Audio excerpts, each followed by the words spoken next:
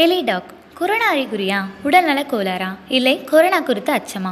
வீட்டிலிருந்தே மருத்துவர்களிடம் கலந்துரையாடி சிகிச்சை பெறலாம். முன்பதிவிற்கு எட்டு இரண்டு நான்கு எட்டு ஒன்று மூன்று இரண்டு இரண்டு ஐந்து ஒன்பது என்ற எண்ணிற்கு உங்கள் பெயர் வயது அறிகுறிகளை வாட்ஸ்அப் செய்யுங்கள். உங்க விருப்பப்படி லைஃப் பார்ட்னர் கிடைக்கணும்னா கீழே இருக்கிற லிங்கை கிளிக் பண்ணுங்க. உடனடியா ஃப்ரீயா ரெஜிஸ்டர் பண்ணுங்க. மே பனிரெண்டாம் தேதி உலகம் முழுவதும் செவிலியர் தினமாக கொண்டாடப்படுகிறது. இந்த நிலையில் மருத்துவமனையுடைய முதல்வர் ஒருவர் தன் மருத்துவமனையில் பணியாற்றுகின்ற செவிலியர்களுடைய காலில் விழுந்து கதறி அழுத நிகழ்வு தற்போது நிகழ்ச்சியை ஏற்படுத்தியிருக்கிறது.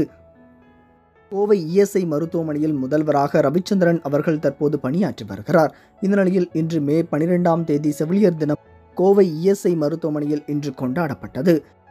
இந்த நிகழ்வில் இஎஸ்ஐ மருத்துவமனையில் பணியாற்றுகின்ற செவிலியர்கள் அனைவருடைய காலிலும் மருத்துவமனையுடைய முதல்வரான ரவிச்சந்தர் அவர்கள் காலில் விழுந்து நீங்கள்தான் தற்போது எங்கள் அனைவருக்கும் கடவுள் என்று கண்ணீர் விட்டு கதறி அழுதிருக்கிறார். இதற்கான வீடியோக்கள் தற்போது சமூக வலைதளங்களில் வெளியாகி அனைவரையும் நிகழ்ச்சியில் ஆழ்த்தியிருக்கிறது. இந்த செய்தி பற்றி உங்களுடைய கருத்துக்கள் என்ன அப்படின்னு சொல்லி மறக்காம கமெண்ட் செக்ஷனில் கமெண்ட் பண்ணுங்கள் இந்த செய்தி உங்களுக்கு பிடிச்சிருந்தால் லைக் பண்ணுங்கள் ஷேர் பண்ணுங்கள் மறக்காமல் நம்மளுடைய டாப் நியூஸ் தமிழ் சேனலை சப்ஸ்கிரைப் பண்ணிக்கோங்க.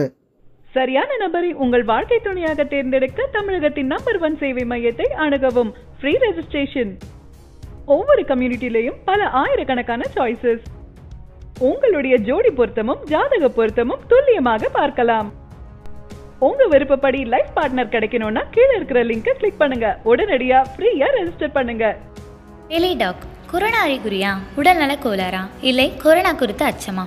வீட்டிலிருந்தே மருத்துவர்களிடம் கலந்துரையாடி சிகிச்சை பெறலாம்.